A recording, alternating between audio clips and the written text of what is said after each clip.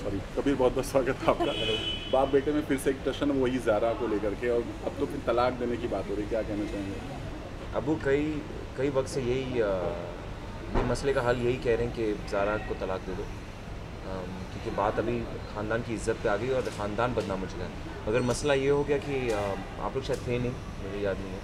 मगर लोग आके घर में तोड़ फोड़ करने लगे। और पूरा घर ऊपर नीचे हो गया था तो हम कहीं ना कहीं उनकी बात समझ सकते हैं एंड हम जानते हैं कि आज तक अबू की ज़िंदगी में ऐसी नौबत नहीं आई जहाँ पर लोग उनके घर में घुसकर अ, उनके घर को तोड़ रहे और वो भी किसी और की वजह से। तो अबू कहते हैं ख़त्म करो ये किस्सा। वैसे भी तुमने तलाक तो एक तलाक तो दे चुके हो। ख़त्म करो किस्सा प्यार मोहब्बत तो है नहीं। तो वही हम उन्हें समझाने की कोशिश करते कि इस बार ज़रा गलत नहीं है। हम ऐसा कैसे उन्हें छोड़ सकते हैं?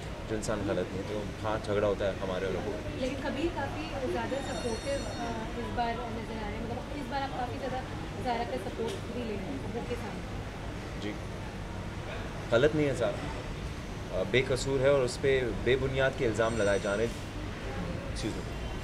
अ, ये लोग पता नहीं किसी के बहकाव में आकर बहकाव में आकर ज़ारा को मुजरिम ठहरा रहे हैं और कह रहे हैं कि उसने ही नुल्फर का खून किया है और देखिए हम जानते हैं ज़ारा कई चीज़ें मगर एक खूनी नहीं है। जब वो एक और जो जब वो अपना घर उजाड़ सकती है एक अ, एक औरत को बचाने के लिए तो आपको लगता है वो किसी औरत का खून करेगी?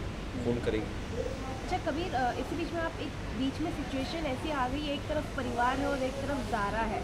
तो आप इस इस सिचुएशन को किस तरह से संभालें? क्योंकि अब्बू ने कह दिया है कि ज़ारा इस घर में नहीं रहेगी और कबीर की ज़िंदगी से भी उसको जाना पड़ेगा। तो अब आपका क्या हम दोनों को नहीं जाने देंगे।